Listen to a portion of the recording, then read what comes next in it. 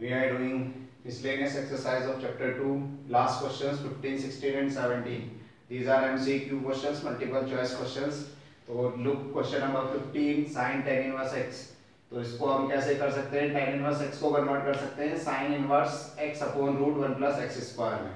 tan inverse x जो होता है वो sin inverse x upon root 1 plus x square equal होता है। तो इससे कैंसिल आउट हो जाएगा x upon 1 plus root 1 plus x square आ जाएगा ये। तो इसका ऑप्शन कौन सा है? डी तो करेक्ट ऑप्शन क्या हो गया इसका? डी डी ऑप्शन इसका आ गया।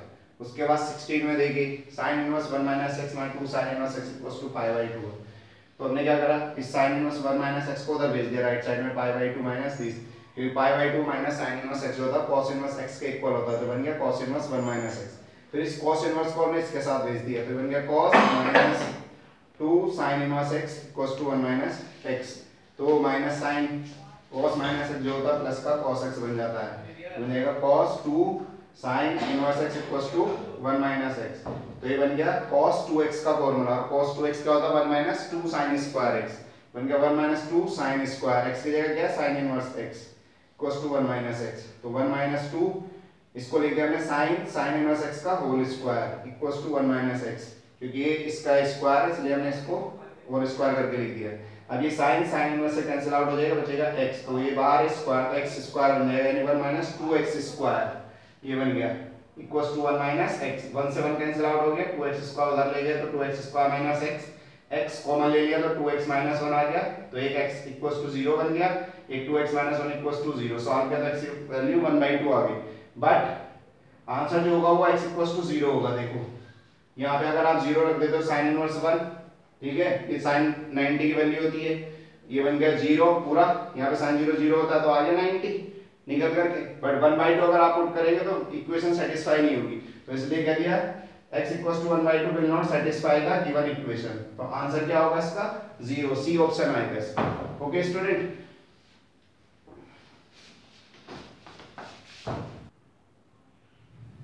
question number 17 tan inverse x upon y minus tan inverse x minus y upon x plus y is equal to, चार ऑप्शन दे रखे आपको pi by two pi by three pi by four और minus three pi by four तो उसको कैसे करेंगे tan inverse x upon y minus tan inverse x minus y upon x plus y को। इसको एज इट इज़ छोड़ देंगे इसको इसको सॉल्व करेंगे। वाई यहाँ से कॉमन ले लेंगे तो x upon y minus one यहाँ से वाई कॉमन ले लेंगे तो x upon y plus one बन जाएगा वाई से वाई कैंसिल आउट हो जाएगा। ठीक है? ऐसा वाई अगर हमने लिया ये, ऐसे यहाँ से फिर वाई से वाई कैंसिल आउट हो गया। तो इतना बच गया। तो उसको tan inverse x upon y minus ये फॉर्मूला बन जाएगा। tan inverse x minus y upon 1 minus 1 plus xy तो हमने tan inverse x upon y minus tan inverse 1 का फॉर्मूला बन गया। यानी tan inverse x minus tan inverse y का फॉर्मूला माइनस साइन से इसे मल्टीप्लाई किया यहाँ पे। तो ये प्लस में कन्वर्ट हो गया। ये इससे कैंसिल आउट tan इनवर्स 1 बचा। tan इनवर्स 1 है तो उसको tan में किसकी वैल्यू होती है 1 tan पाई 4 की। तो tan inverse tan pi 4 tan से tan कैंसिल आउट हो जाएगा पाई 4 बचा। तो अब देखिए ऑप्शन कौन सा है इसमें? सी ऑप्शन करेक्ट ऑप्शन है। ओके? तो इस तरीके से आप करेंगे और आप अब इसमें रिवाइज करेंगे। चैप्टर आपका फिनिश हो गया है, ठीक है? मिसलेनियस भी कंप्लीट हो गई है तो आप इस चैप्टर को क्विक मोड में आप उसे रिवाइज करेंगे। Okay student student you will solve the examples also of this chapter. Uh, before exercise 2.1 and before exercise 2.2 or before exercise miscellaneous. Examples are given some important examples given. So you will solve that examples. Okay